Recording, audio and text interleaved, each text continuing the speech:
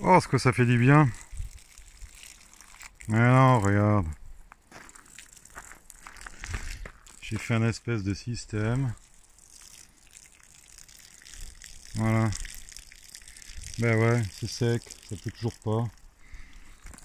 Donc on va pas laisser crever les petites lavandes plantées de l'année. Hein. Ça fait partie du boulot de l'apiculteur.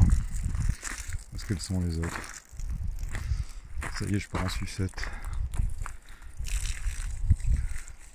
Bon bah je continue. Bonnes vacances.